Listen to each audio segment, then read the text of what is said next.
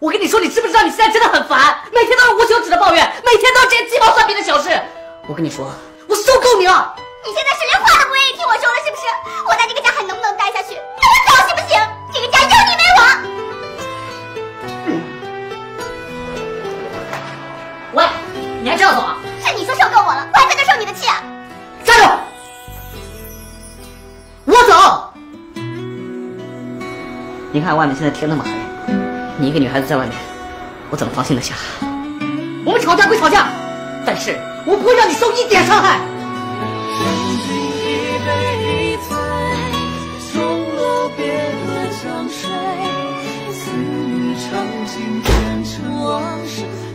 我